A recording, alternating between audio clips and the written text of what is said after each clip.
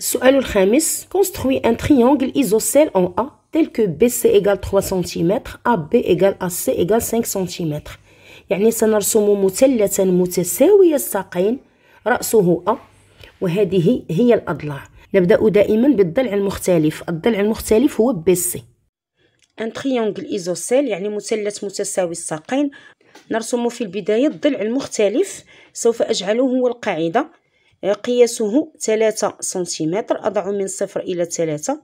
حسب السؤال هذا الضلع اسمه BC يبقى لنا أن تبقى لنا النقطة A نجدها باستعمال البركار.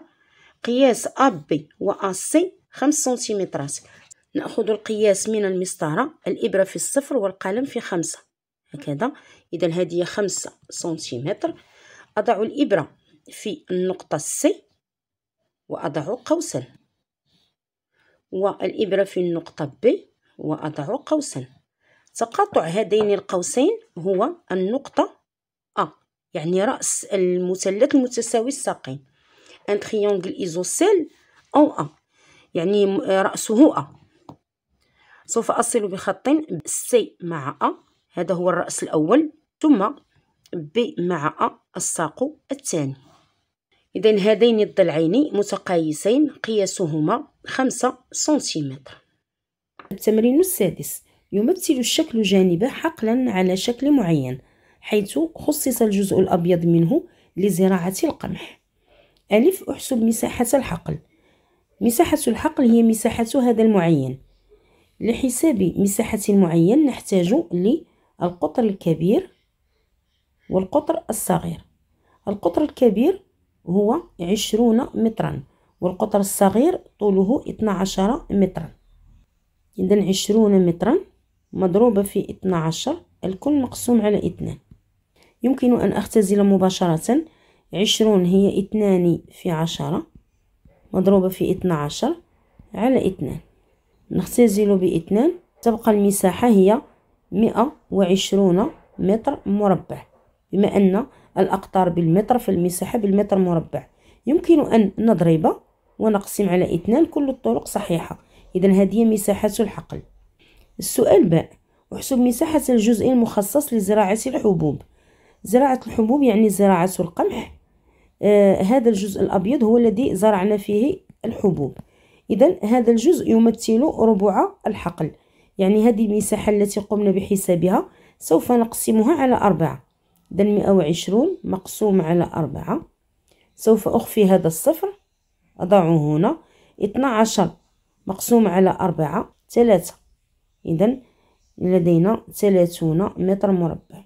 نمر للسؤال تاء. يريد صاحب الحقل إحاطته بسياج حديدي أحسب طول السياج. كل ما يتعلق بطول السياج والإحاطة فنحن سنتحدث عن المحيط لو بيريمتر إذا المحيط هو مجموع الأضلاع التي تحيط بالشكل. يعني هذا الشكل أو هذا الحقل يحيط به هذا الضلع خمسة عشر فاصلة خمسة. كذلك نفس القياس خمسة عشر فاصلة خمسة خمسة عشر فاصلة خمسة وخمسة عشر فاصلة خمسة. بما أنه معين فللمعين أضلاع متقايسة. إذا هذا القياس أضربه في أربعة. خمسة عشر فاصلة خمسة تكرر أربع مرات. أربعة في خمسة عشرون أربعة في خمسة وعشرون اثنان اثنان وعشرون أربعة في واحد أربعة واثنان ستة. لدينا رقم بعد الفاصلة. نأخذ رقم بعد الفاصلة. سوف نكتب اثنان وستون مترا. المحيط بالمتر لأنه طول. كما رأيتم طول السياج. السؤال السابع مسألة تملك خياطة ستة وثلاثون مترا فاصل خمسة وعشرون مترا من الثوب. صنعت منها خمسة قمصان ثم باعتها بثمن خمسين درهما فاصلة تسعين للقميص الواحد. كم مترا من الثوب استعملت لخياطة قميص واحد؟ آه، أولا يجب أن ننتبه إلى المعطيات. المعطيات على شكل أرقام لكن خمسة على شكل حروف. إذن هي معطى مهم. يجب أن نستعمله. إذا هذه الخياطة لديها هذا الثوب يعني هذه الأمتار. صنعت منها خمسة قمصان يعني قسمتها كل جزء من الثوب آه، خصصته لقميص واحد. بعد ذلك سوف تبيعها بهذا الثمن لكن هذا الثمن للقميص الواحد. في هذا السؤال سؤال ألف لن نحتاج لثمن البيع فقط سنحتاج لطول الثوب وعدد القمصان. كي نعرف الثوب المخصص لقميص واحد يجب أن نقسم هذا العدد على خمسة.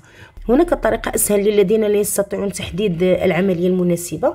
نستعمل التناسبية الثوب بأكمله طوله ستة وثلاثون فاصلة خمسة وعشرون مترا. هو صنعت منه جميع القمصان. إذا نقول خمسة قمصان. السؤال طلب منا كم مترا من الثوب يعني نضع علامة استفهام تحت المتر. المخصص لقميص واحد يعني قميص واحد.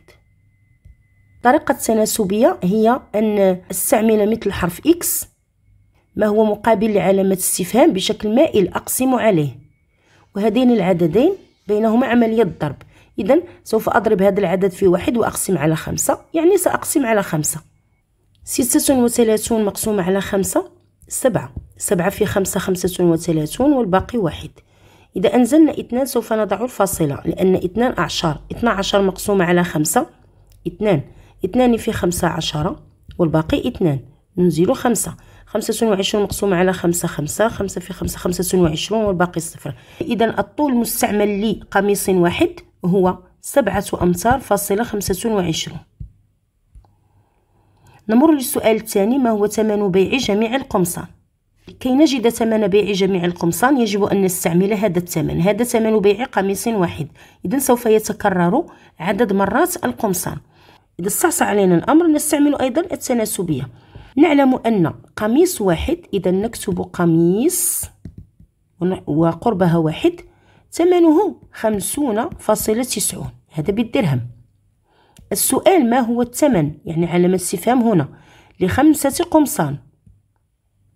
طريقة التناسبية دائما الحرف إكس ونقسم على المقابل علامة استفهام. مقابل علامة استفهام هو واحد يعني لن نقسم.